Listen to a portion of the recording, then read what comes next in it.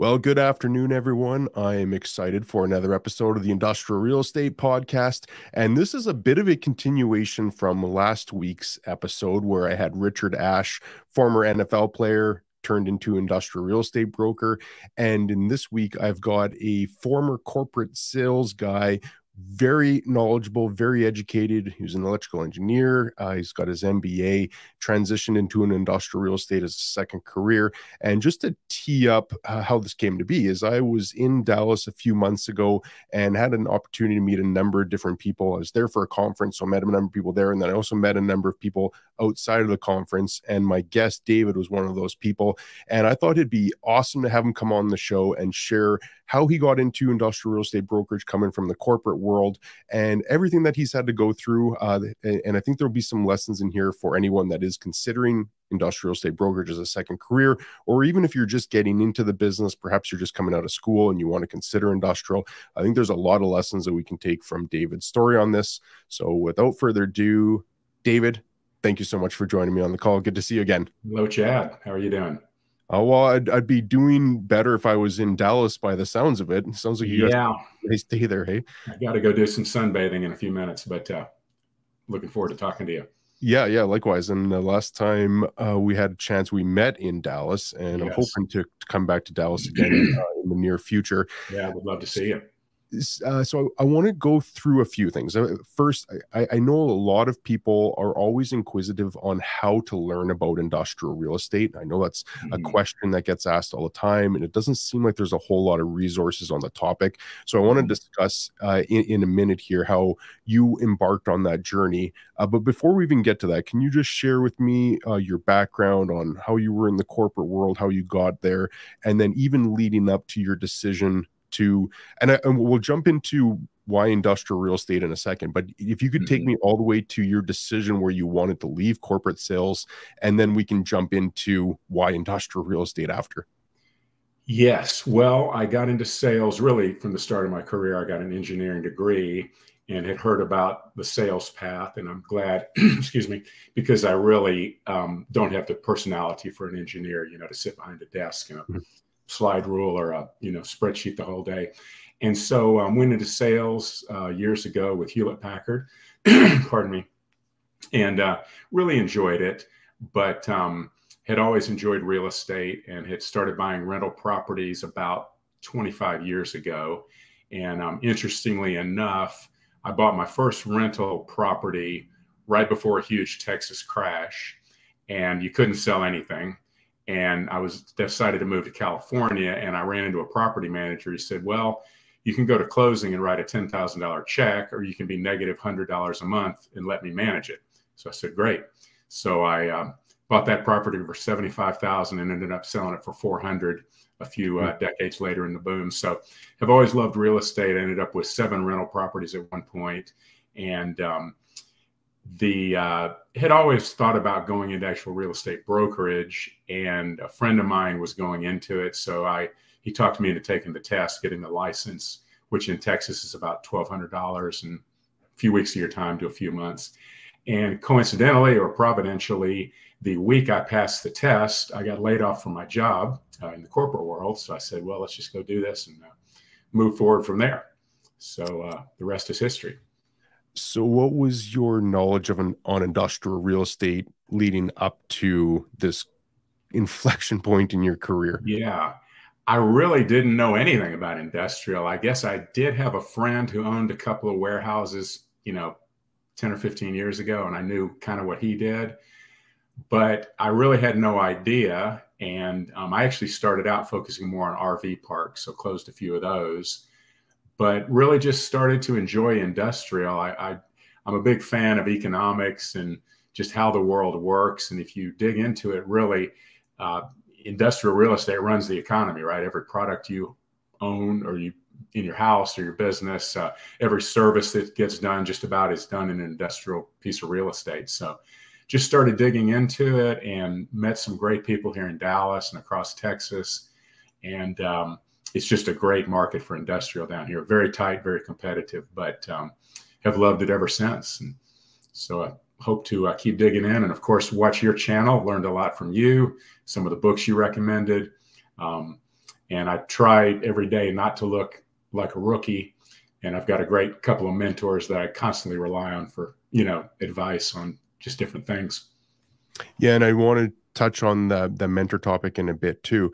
Uh, when you first got started and you saw industrial real estate as this path forward, and coincidentally, I had the same experience when I mm-hmm. first got into commercial real estate in 2005. I thought I'd be working on office towers or retail and just almost accidentally stumbled into industrial. And I'm glad that I did because 18 years later now I'm I, I love it enough that I do a podcast on it. So uh, it's it clearly has become a, a passion of mine. Uh, and I'm I'm sure we both had the same type of struggles. What did you do to learn about industrial when there isn't a textbook on how to do it? Uh, there's if you like residential is a good example. If you want to learn about being a residential broker, you could find countless books on what residential is, and you could find countless more on how to be an effective prof, uh, producing agent in industrial there's very little of either so what yeah. what was your path like to go from knowing very little about it to to where you are now well like i say i, I watched i've watched just about all of your content so congrats on all of that and, and your following you. and all that i mean it's been very good um, i really learned by doing as opposed to you know i mean i do read a lot but I really just went on a lot of site visits, a lot of, you know, calls and, you know, I'm hoping the investors didn't know what dumb questions I was asking, but, uh, you know, I'd get metal building, heck no, you know, and then some guy go, no, I love metal buildings, you know, just stuff like that. Um, you know, I'd never buy that cap rate and sort of just started really just doing it by learning, by, by being with people. Um, I now have enough, I'd say, investors that I count as friends that I can kind of slip a few questions into them because at some level we're peers, but you know, some of them own 50, 100 million dollars worth of real estate. I don't think I'm going to get there. So in that case, they're almost mentoring me when they can, might be 10 years younger than me or something. But really just learning by doing, getting out there. You know, you read the offering mem- memorandum sometimes, get information out of that. Um, here, there's a lot of good, I'm sure, up, you know, other places too, uh, good events. CCIM does a lot of good events. Uh, Bisnow, Red News, uh, the Dallas Business Journal, they'll do just, you know, industrial real estate forums and things like that. And you'll, you'll hear these strong owners up there talking or maybe attorneys or people like that. So really just little bits and pieces. And I love to learn and it's, it's been really interesting. Yeah, another one I could add on to that as well is Globe Street, uh, globest.com. Globest, uh, yeah, yeah, yeah. It's it's one of my favorite websites actually. Okay. Uh, I I've I've subscribed to it, so I get their weekly digest on industrial real okay. estate news. Uh, they they break their news down into asset classes. So if you just want to follow along on retail. You can obviously I just follow on industrial. I don't yeah. want my inbox to be inundated with with everything, but that's that's one that I that I follow. And Bisnow is another great one too. I, yeah, I, that's good because I get Globest, but I got to admit I don't read that one as avidly. So I'll I'll put that one on top of my stack yeah it's definitely worth worth reading and and one that a little bit of an outlier is wall street journal and yes. I, I always used to like Wall Street Journal because they didn't have that bias kind of come in from either way, like what, what you see with like CNN oh, yeah. or CNBC or Fox. Uh, it, it seemed to be more neutral. It it seems that it's there's a little bit more conjecture and bias finding its yeah. way into it. And mm -hmm. one quick aside on it, there was an article just put out uh, where they talked about warehouses and the the tone of the article and the headline was something like warehouses come to a halt that mm-hmm. typical sensational yeah, headline that you'd right. normally see at on, like mm-hmm. fox or cnn yeah. and i was disappointed by that because usually wall street journal is pretty objective when they just present the facts yeah. and they made it sound like the warehouse industry is coming to a grinding halt well mm-hmm. basically what the headline said but as you dig into it more it's just it's down from where what 2020 was down from 2021 numbers, but 2021 yeah. numbers were absolute record numbers. Yeah. So I, I, would equate it to, you know, like a basketball player. So let's say uh, uh, LeBron James, as an example, goes out and he scores 70 points one night, and everyone's like, that's an mm-hmm. amazing accomplishment. And then the next night he goes out and he scores 50 points.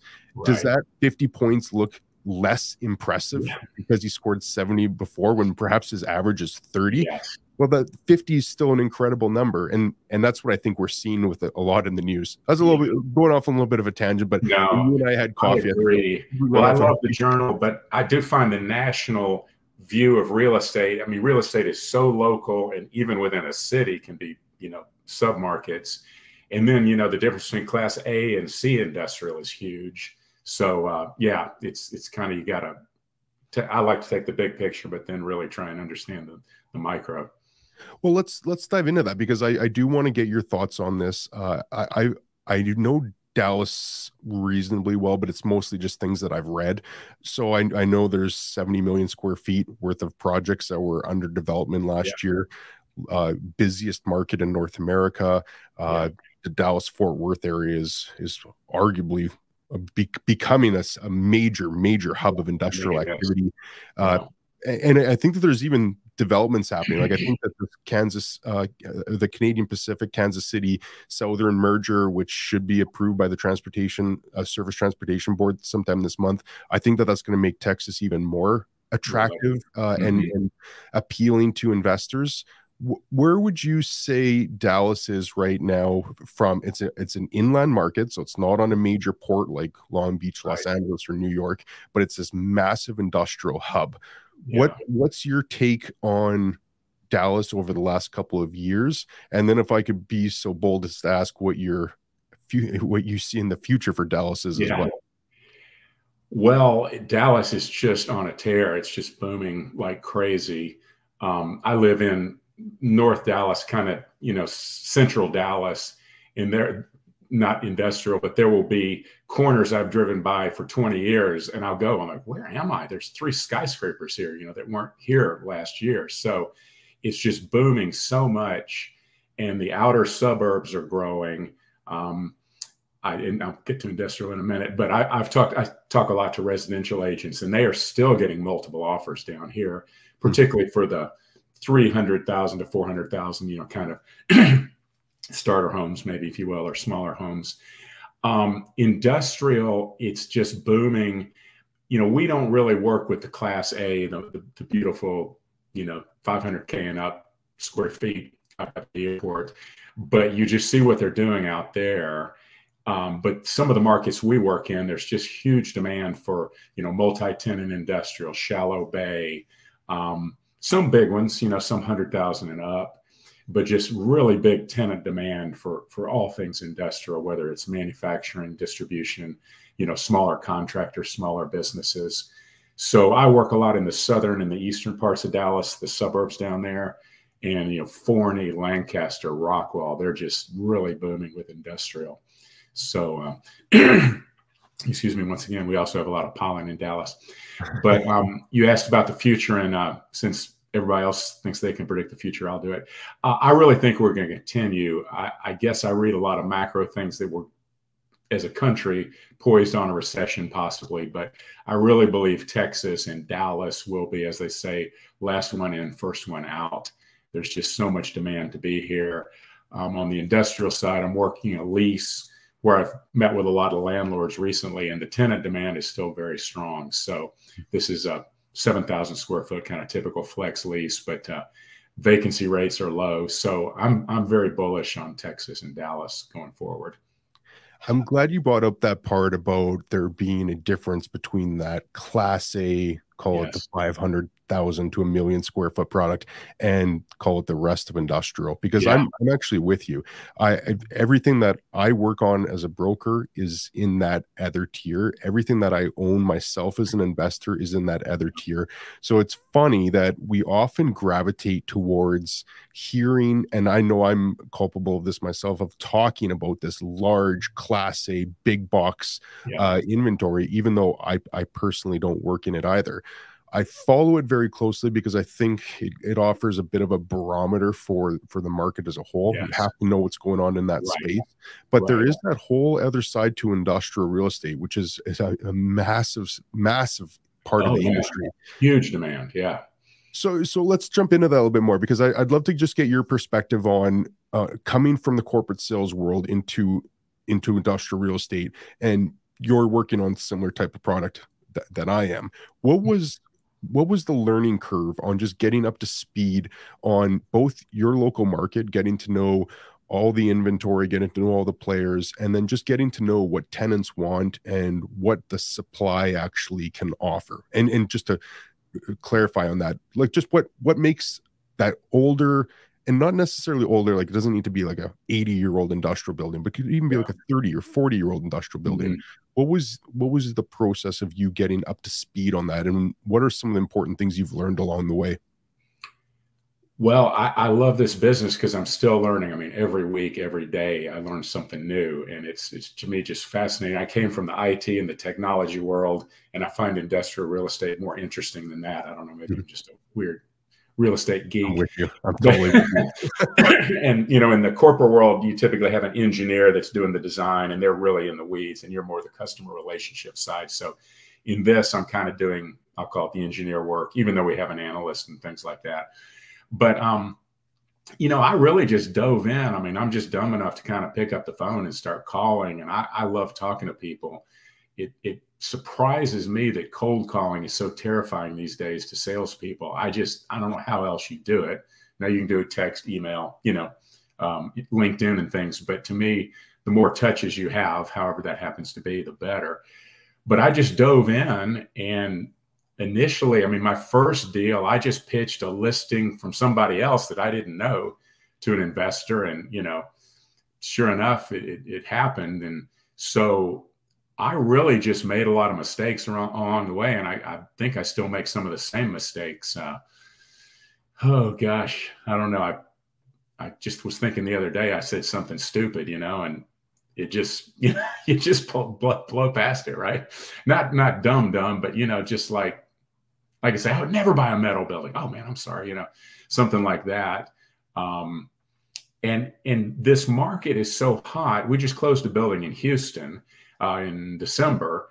It was a 30,000 square foot metal building, a machine shop.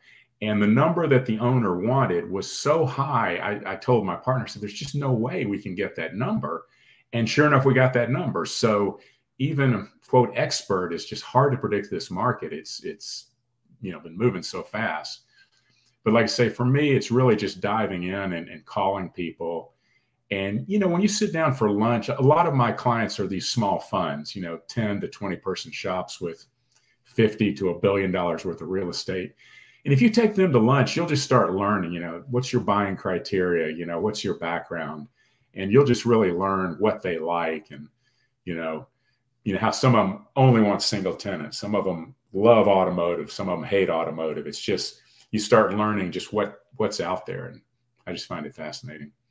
Yeah, well said. And and I love the point you made about making mistakes or perhaps saying yeah. something that you didn't want to say. I, I've said this uh, myself as well, is that I try to keep like a 10 to 1 ratio uh, where if I say 10 things, I just acknowledge that one of them is going to be really stupid yeah. or just going to be really dumb.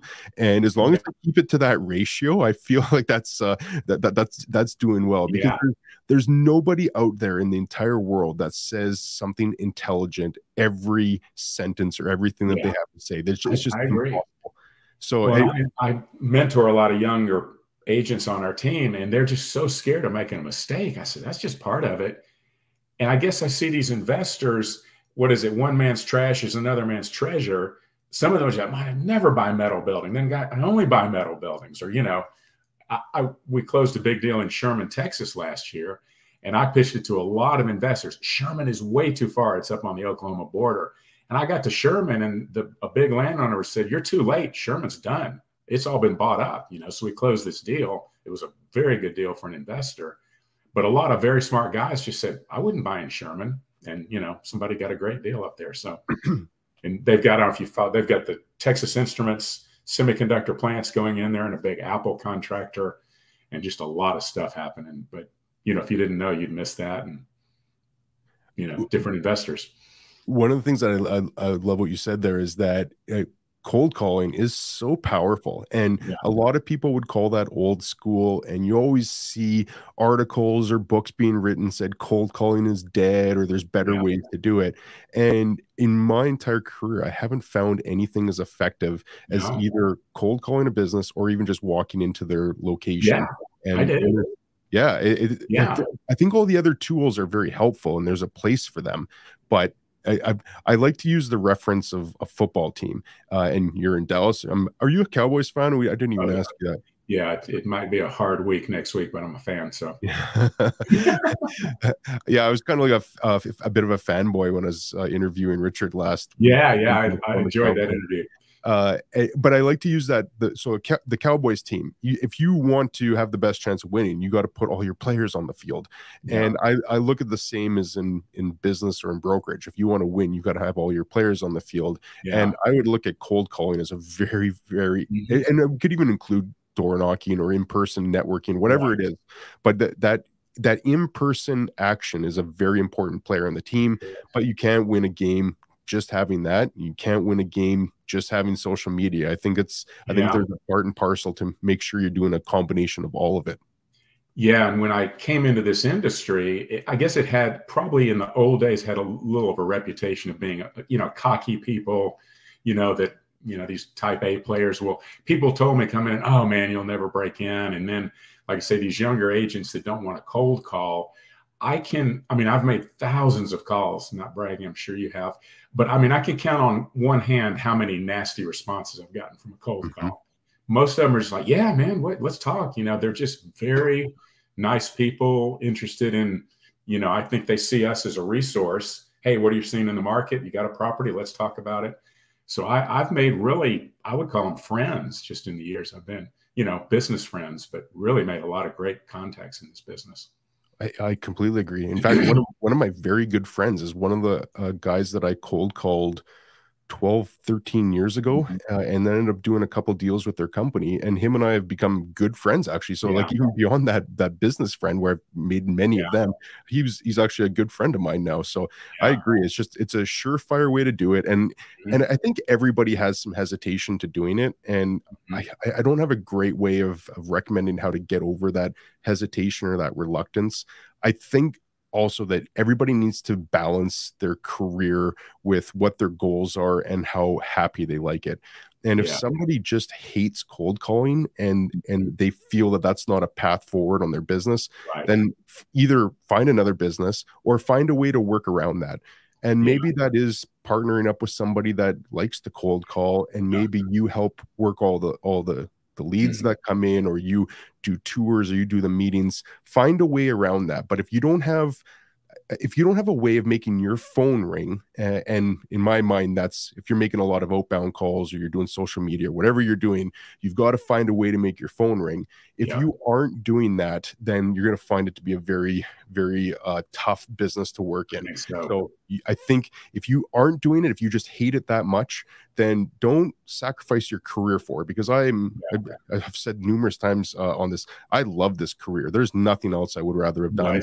Uh, Yeah, it's it, I absolutely love it. But I can also appreciate that some people hate elements of it, Yeah. and that might be a hindrance to them either succeeding or even staying in the business. So yeah. find find a solution if you can't do it for whatever reason and and i think as you emphasized david you sh- you should be doing it but if you Mhm. absolutely can't do it and you think that that would uh, push you out of the business then find a way to partner with someone that is doing it uh, be- Yeah, because I I, I, I I love how you're doing that, and you remind me a lot actually of, of Richard David. Not that you're six four and three hundred and ten pounds like like Richard is, uh, but what what Richard uh, said and and you've said now, which really uh, struck a chord with me, is that Richard came from the NFL. He was a very successful athlete, but when he got into the business, he was humble. He Yeah. said to a lot of people, "I just want to learn." Much like you, he reached out to a lot of people. He was very aggressive, getting in touch with people, but he was also very humble. Uh, Mhm. Whereas a man of his stature and and coming from his background as a former NFL player, he could have been a lot more uh, egotistical about it, but he was Yeah. very humble. And I'd say the same uh, about you. Just uh, the times that we've got to chat and, and meet in Dallas, even though you've have your engineering degree and you've had your MBA and you've had success in the corporate world, you still went into it with, and, and I even hear as you're talking, you you still look that there's always something to learn in this business. Yeah. Uh, even with your knowledge and your experience, you didn't come into this saying that I already know everything. This will be a walk in the park. Yeah. Well, and what I love about this industry, it's I guess it's so competitive that it really is humbling. Like I say, I I meet with guys, I'm not bragging, but just that have tremendous portfolios or agents that have, you know, 20 year track records or more like you. But I think you're only a month away from a dead month in brokerage and all these owners have so much debt they're excuse me they're they're challenged so it's just a very humbling business that probably a lot, lot like being in the NFL. The minute you have a down year, you're probably out, you know. So there's not a lot of room for error. And um, you know, I say, I people just have tons of property and they're just nervous, man. I mean, if you know the economy goes down, they're leveraged up. It's it's a humbling business. So I love it. I, am going to jump into the uh, comments here in a second. We'll just hold off for uh, for a minute here, Wyatt. I, I want to dive into that, and I was going to jump into it, but a, a, question just occurred to me as you're saying saying that because I think that's a great point. Is that we we as brokers don't want to be just order takers. We want yeah. to be able to. It's becoming cliche now, but we want to be value add mm-hmm. service providers. And yeah. I, th- I think how you said that is is very powerful. Is that these there's a lot of property owners out there. There's a lot of property owners that have a lot of debt and record breaking increases pace wise and interest rates might yeah. be causing a lot of them to oh, to yeah. get nervous. Oh, what yeah. you, what's your message? And you don't have to say verbatim what you're saying if if you've got something that that works for you. But what overall, what is your message when you're talking to owners on how you can be that service provider that adds value? Well, really, from the start of my career, I felt like I could outwork my competition. So, um, my uh, partner slash broker, uh, TJ McNeese, he calls it the three P's of commercial real estate. You uh, put put the property into co- when you list it, put the property into CoStar, put a sign out front, and pray. I mean, that's just his model. Is that was the old days? Just is my phone ringing? But we're out there, we're calling, we're digging. You know, we're at the Chamber of Commerce and really just outworking people.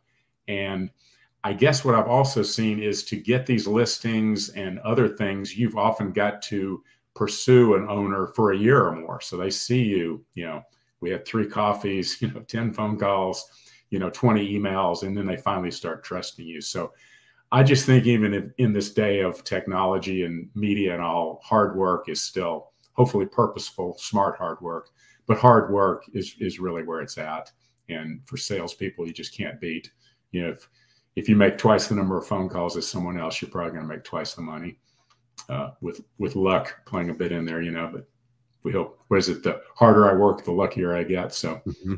that's my maxim. they didn't teach that in business school. Right? no, I know. I know. So it's it, it, and like I say, this is a to me a simple business, but uh, so complex and broad. It's just very interesting. You know, it's at one point it's just simple, just make the calls, but the other, trying to get a deal done. You know how many circles you can run in that just to get get things done. So it's fascinating. Yeah, it never is a dull day. Uh, there's a couple people that joined in from Texas. I just want to say hi to first. Uh, Ron, hey David, hello from Dallas. Hey, Ron. Uh, Ron, it would be a great guy for you to connect with, David. Yes. He's, a lawyer uh, in Dallas, also owns industrial property. Uh, awesome guy. He's got a YouTube channel as well, talks about industrial real estate. So I'd give Ron a shout out and encourage uh, people to check out to him. But you should connect with Ron, David. Uh-huh. He's, he's, a really good guy. And then uh, Josh uh, also joined in. Uh, go, David. Uh, Josh from Texas. Thanks for joining in thanks for the comments.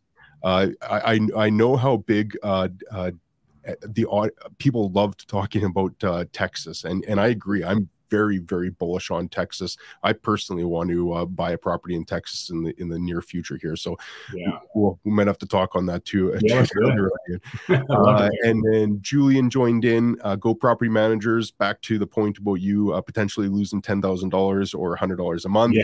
Turned it, yeah. what was it, seventy thousand into four hundred thousand? Yeah, yeah, it worked out very well. So yeah, and and I actually do want to have a property manager on the show, uh, and i will reach out to Julian to see if he'd be interested. Yes. Uh, I, I think that there's actually a misconception about how valuable property managers are like I, and especially for people new to industrial real estate where perhaps they just went from the residential side where i don't want to I don't want to oversimplify what a residential mm-hmm. property manager does, but I think that there's a, even a misconception there that they basically just collect rent, uh, and then if there's an issue, they they deal with it. I think a a smart, prudent commercial property manager can can be going back to that cliche again they can really add value to the property yeah, just on, on some of their systems and record keeping and tenant management and and if they even approach it from a standpoint of being asset managers uh, on your behalf uh, I think that there's a tremendous amount of value that a property manager can have.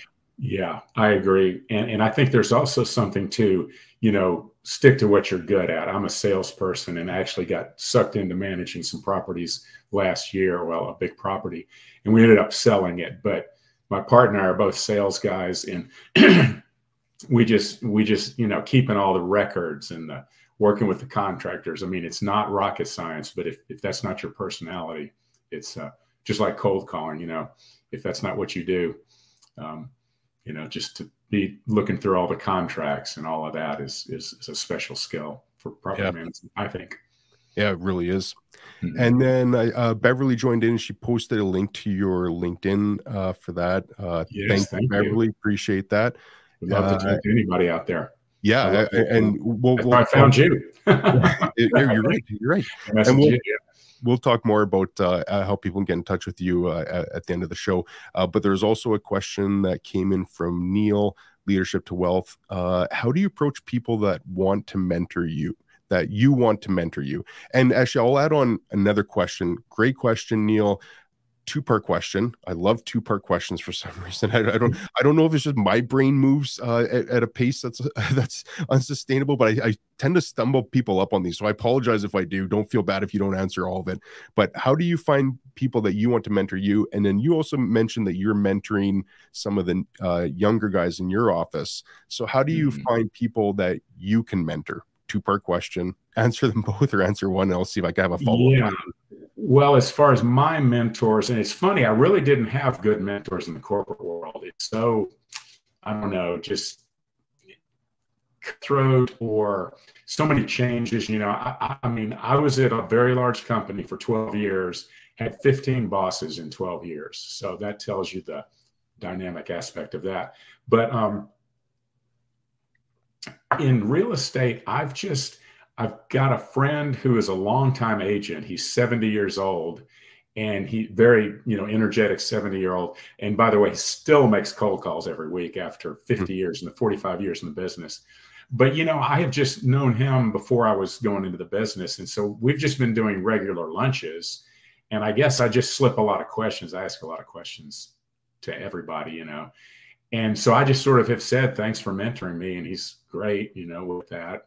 And then I have a lender friend, and she she's just super knowledgeable about you know loans and um, you know structuring everything. So I, I've just sort of taken her out for coffee and hit her with a hundred questions, and I guess people either get sick of your questions or will keep answering them. So it's kind of both of them will really be patient with me. And then my two partners, uh, TJ McNeese and Wayne Murphy, both longtime real estate guys. And what I've discovered with both networking and mentoring is if you want to somebody to mentor you, you want a smart, knowledgeable person, but they've also got to be willing to give you the time.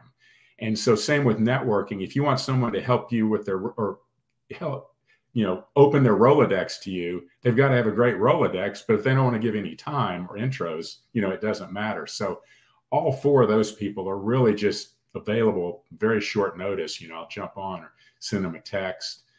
Um, and as far as who I mentor, we've just brought some new people on the team, and I've just sort of started having some regular lunches and coffees with some of them. And you know, some are more open to it than others, but it's kind of a friend thing slash mentor. And and I guess I really like seeing young people just on the path to success. My daughter just graduated college and she has a her circle of friends is just so good. Uh, she lives in Dallas, and I'm sort of hoping or starting to mentor some of them um, there a lot of them are going into sales, and they are just good, good kids, smart, you know, 21, 22, and uh, you know, kind of nervous. And I just try and tell them, you know, um, one of my favorite quotes is uh, Mark Twain, I think, said that courage is not the absence of fear; it's the control of fear. You know, the, the biggest person in the world is scared to death half the time. You know, but they just get up there and do it. Yeah. So I think you just can, you know, give that confidence and knowledge to a young person. That's a lot of fun.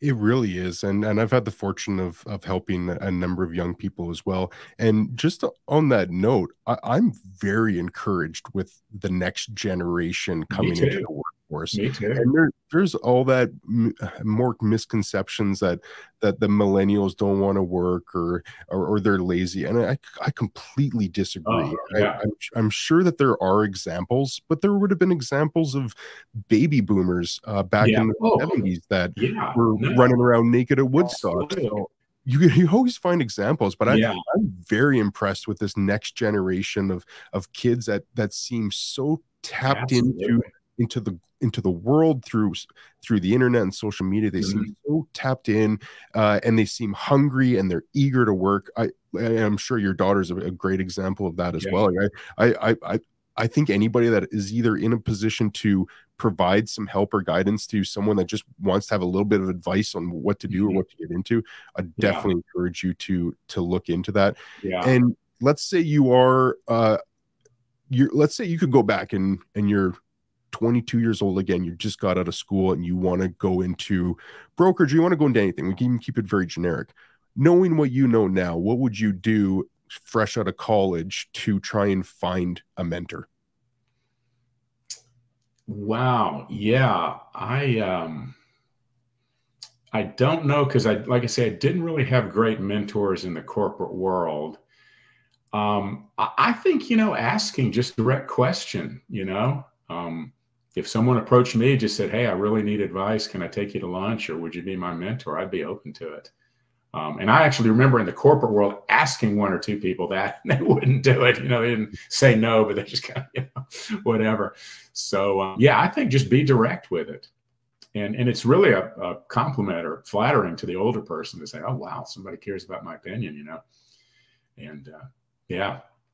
Yeah. If, if I could even just piggyback on that, uh, to your earlier point, it's kind of a numbers game to some extent, right? Like if you ask a few people and you don't get the response you're looking for, well, don't stop. Yeah. Don't be discouraged yeah. because first of all, if you're going into sales, you need to be talking to a lot of people and expecting yeah. to get a lot of people to tell you no.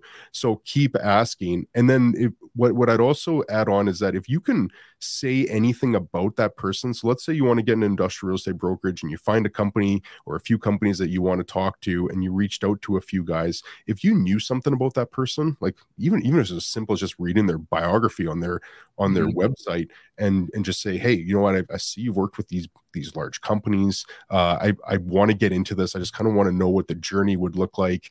Uh, you've obviously been very successful in this. If you'd be open to just sharing 20 minutes of your time. I'd greatly appreciate getting your advice. I think that's a pretty soft message, and and yeah. myself, I, I would be open to that conversation. Uh, but if it's just like a boilerplate email, hey, I'm looking for someone to give me advice. Here's what I want to do. Here's what I yeah. want to get from it. Here's how I want to mm-hmm. succeed. So it's a lot. It's a lot more self-serving yeah. than than trying, especially trying to get time from somebody that's busy. So yeah, I, I really agree. Yeah, it, uh, thanks for for sharing that. Uh, there's a couple uh, or another question that came in uh graphics equipment thanks for joining in good to see you on here again how much will industrial be insulated in this impending cre downturn great question yeah i think it's going to stay strong or maybe slow down a little bit i just saw I, I like you i read, read so many things and graphs and all this i think it was nationally but the you know the demand the, the, the vacancy rate is still just very solid with uh um industrial. Um, what I see is if we really had a downturn in housing, like people just weren't buying houses or things like that, that could maybe have a big impact because if you think about it, a lot of what goes into these warehouses or smaller places is, is related to the housing industry. Um, and a lot of these smaller multi-tenant, you know, is, um, you know, just roofers, uh, you know, carpenters, just all sorts of trades and things into those buildings. So I can't see it going that bad, but you know, that's just my view. I, I think it'll stay at least moderate, moderately strong. Yeah, I, I personally, I think it's going to be a little bit like Charles Dickens said with the Tale of Two Cities. Yes, I think so. Yeah, I, I, the analogy that I've been using lately, and I just put out a prediction video for 2023 on on the channel if anyone wants to check that out. The analogy that I came up with because I thought about this long and hard, uh, and it might not show for how simple of an analogy I came up with, but I, I was trying to come at different angles. I equated to a storm coming in. So mm-hmm. a storm comes into into a city. Not everybody gets affected the same. There's going to be people that that are in their house that they're in a in, in a garage and they go from their house to their garage to their car to their office building their underground parkade they might not even notice that there's a storm other than they don't want to go outside whereas there's going to be other people and a lot less fortunate people than that that will be impacted mm-hmm. significantly mm-hmm. more where their entire lives will be completely upset and i think mm-hmm. that that's probably happened in every past downturn yeah. in history. Some people are affected more than others. Some people aren't affected. I think that that's going to happen in industrial as well. I, I the one that I like going back to is Amancio Ortega, founder of Zara, one of the richest people in the world. He bought a mm-hmm. portfolio of properties in the U.S. last year for nine hundred million dollars. Companies include FedEx, Walmart, or I don't know if Walmart's one, but FedEx, Amazon, large like Fortune 100 companies, mm-hmm. and the mm-hmm. weighted average lease term was eight years and change. So in my mind, that guy buys those properties, fixes his debt, knows he's got very low likelihood of default on those, and their minimum of eight years left on the lease. Mm-hmm. He probably doesn't really care for that portfolio specifically, anyways. Probably doesn't really care what happens in the next year. So mm-hmm. I think he'll be that that guy that's in his house going from his car to his office building and not even thinking about the storm. Whereas there's going to be guys out there who bought perhaps at the absolute height of the market. Call it. Right. I don't know if we could pinpoint when that would have been yeah. or not. But if they bought at the height of the market and perhaps was more speculative and interest rates went up 300 right. basis points, I think that they might have a different outcome on this. So yeah. I, I, don't think it's black and white. I don't think there's going to be all winners and all losers. I think that there's going to be some people that are in a losing position that find a way to increase their their hand. They they find a way to make their hand oh, yeah. better. So like yeah. you, you had that house, of seventy thousand dollars, could have lost ten thousand on it. You found a way. In this case, was a property manager to yeah. help you get through that, and you came out a winner. So you could have sold and been in a losing position, but you repositioned, you restructured, you finagled your way out of it, and yeah. you became a winner. I, I think that's that's what this is going to be as well. Well, and the one thing, sort of, uh, you know, I think industrial will be okay. The one thing I'd like your opinion on this is the debt. Most of the debt I hear about is five year debt.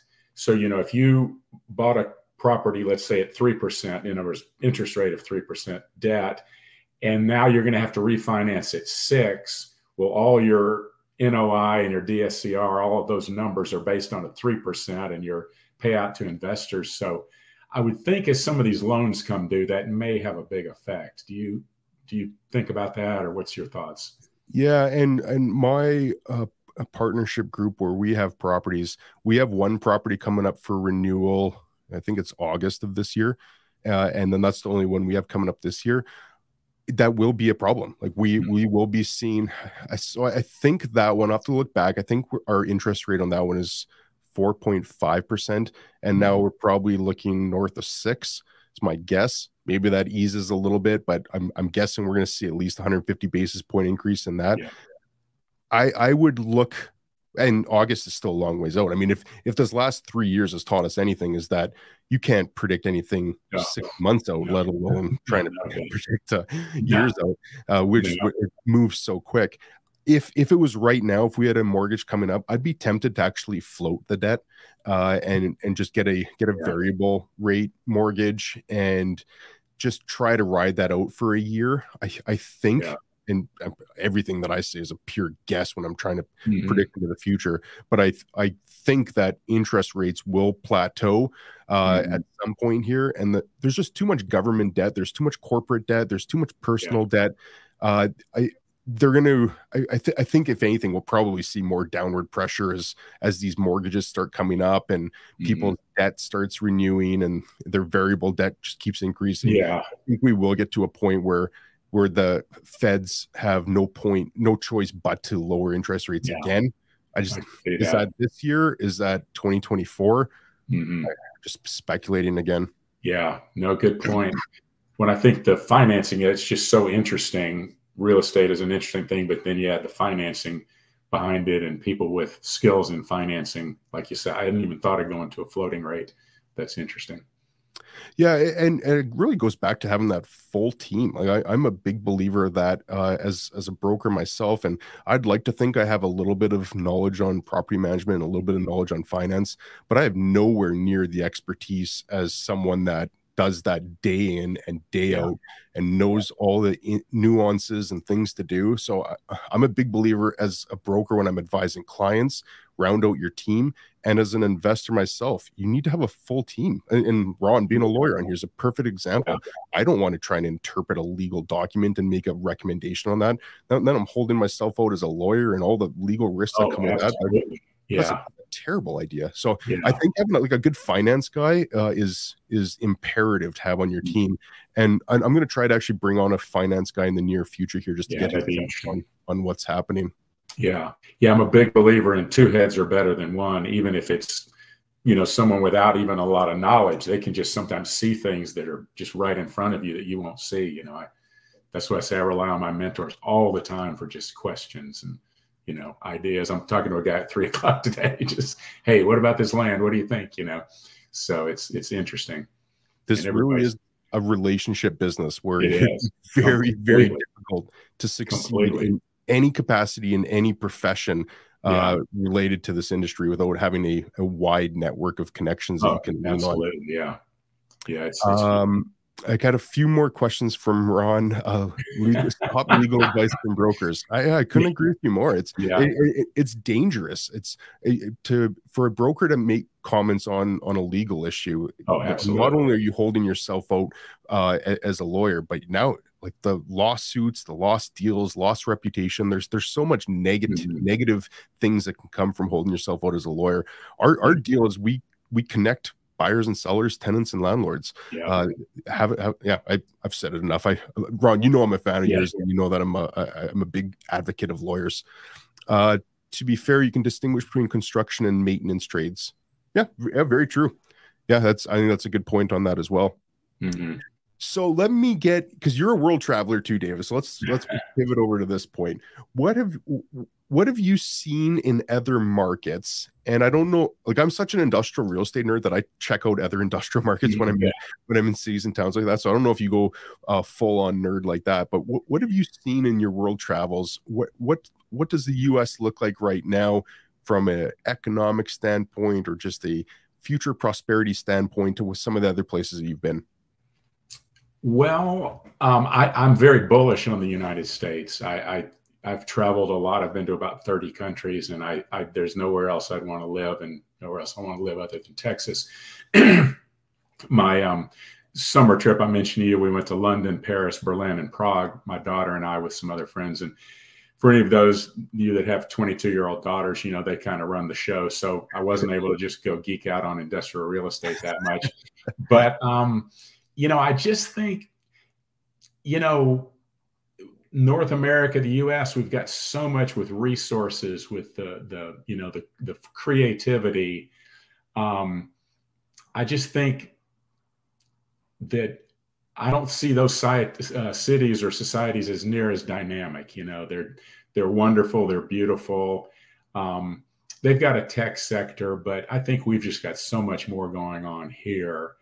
Um, I think they've got a lot of social issues in Europe, you know, with um, immigration, unions. Kind of reminds me of when Margaret Thatcher was was uh, prime minister. You know, just a lot of fighting over resources. So I think that's going to cause challenges over there, and of course, the war in Ukraine. I think that's going to have long-lasting effects, and um, so I would just say I'm bullish on on the U.S. and uh, North America in general. I think if you look at just Canada, Mexico, and the U.S. as a trading bloc, gosh, what more do you need, right? Mm-hmm. Tons of skilled labor, um, resources, tech, tourism, uh, finance, and uh, I guess if we can keep fighting each other, we'll have a much, you know, a much better future. But uh, I'm very bullish on the continent. Have you read Peter Zeihan's book, uh, "The End of the World Is Just the Beginning"? I haven't. I watch him a lot on YouTube, but yeah, I really like him. You ought to get him on the show. That'd be great. I've I've asked, I've reached yeah. out to him, but he's yeah. doing he just did Joe Rogan's podcast and yeah. I, he's good, isn't he?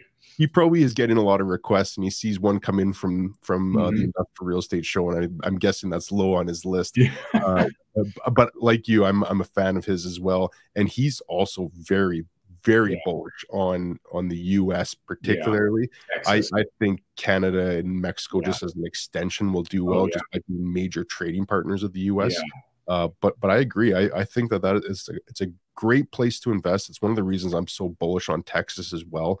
Uh, yeah. It's U.S. like anywhere has has problems and there, there's issues that seem unsolvable at the moment. But I think the good far outweighs the the negative uh, oh, on there. So I, am quite yeah. bullish on it. No, I have a lot of friends who watch too much TV and are so negative about the U.S. And I've read a lot of history, and I, I just think, you know, are we better off than the Civil War? Oh, yeah, we're better than that. Are we better off than Vietnam? Yes, we're better off than the Depression. And sort of back to your thought about young people and how so many people think young people aren't going to be able to do anything. There's a story about John Adams and Thomas Jefferson, you know, who were founding fathers, and they got to be enemies as they got up in their 30s, 40s, and 50s, but they both died 50 years after 17, you know, uh, July 4th, 1826, they died on the same day. But at the end of their lives, they had started writing letters, kind of you know mending fences. But the, one of the big themes was this younger generation. We they're ruining the country. This country will never amount to anything. You know, 1820s. And so they just said, "Well, we tried. It's over. So we just this thing's going to go down." But you know, here we are, 200 years later. You know, so you just got to keep going, right? what choice do you have? yeah i, I think that it's, it, it's such a negative stance and an unproductive stance for those people to sit and say uh, this next generation is, is lazy. Yeah. I, I, think that there is that is first of all incorrect. It's just not yeah. what I'm seeing at all. And yeah. I, I, love that point. 1826 was it? Was that what when they died and, and they were writing those letters? That's crazy to think that even that far back then, though that that that older generation thought the younger generation was going to mess yeah, things up. Uh, there's even a story about Plato just lamenting this younger generation is going to you know destroy Greece. You know, so uh, yeah. Well, I think that it's so. It's. I mean, there, it's always been if it bleeds, it leads. That's the uh, saying in the newspaper business and all, and TV. But I think social media is just even further. You know, I I listen to a lot of macro guys, and every you know some of them are just the we're going to have a collapse of the currency and recession. And one guy predicted the other day, well, we're going to have a recession the second half of 23. I'm like, get on with it. We've been waiting on this recession for you know, a year. Just get it started. Come on. So I think you get a lot of viewers, and your channel's very positive. But you know, so many of these people are just horrible headlines that we're you know have a crisis coming, and good way to build an audience probably. I, I, was talking to a PR uh, a lady once, and, and she summed it up best. She's like, "If a dog bites a man, that's not a story. If a man bites a dog, now, now, now we're sending out a news crew. Yeah, now we're uh, talking. Uh, now we're talking. Yeah. And, and and I want to keep this very positive. I I think that there is trouble brewing, and I and I I think that 2023 can be painful for some. Yeah. Where everybody in the industrial space basically even the worst off still walked out unscathed over the last couple yeah. years. I do see that changing where there will be some people that experience some real pain uh, but i don't want to be that that negative uh, that i don't think that's healthy. Like people that consume uh, the news that's always negativity. Like how does that not creep yeah. into your it's kind of addictive maybe or something yeah. But your channel is very positive no, I like the quote by Baron Rothschild in like the 1700s. He said, buy on blood, sell on trumpets, meaning when there's blood in the streets, buy. when the trumpets are out on the parade, sell. You know, so uh, it's it's going to be an opportunity. Just be, be ready. You know? Yeah. yes. uh so uh, that's probably a good place to wrap up on selling trumps. I like that. I'm gonna, yeah. I'm gonna use that one. Uh so I, I did put uh your linkedin in the description yeah, and, and anybody out there. there. So i encourage people to reach out to you and connect. Next time in dallas we're definitely going to uh, uh connect as well. Uh, yeah. anywhere else people can reach out to you or if, if they have any questions or just want to uh, um, ask you something that's probably best. I mean, I'll give you my email address, uh, Dunaway at KW Commercial. That's just one N in Dunaway. So D D U N A W A Y, D Dunaway at KW, like Keller Williams, KWCommercial.com. But LinkedIn, I'm on all the time, checking messages and stuff. So love to talk to folks about ideas. Awesome. Well, I, I always enjoy the time that we get to chat, so I, I appreciate your time on this as well. Uh, I do just, uh, Julian agreed, very positive. It's refreshing. Uh, thanks for that. I mean, I'm, I'm glad that uh, that it's noticed that we try to keep this very positive because yeah, your channel's very very upbeat and good, uh, great great energy. Keep it well, up.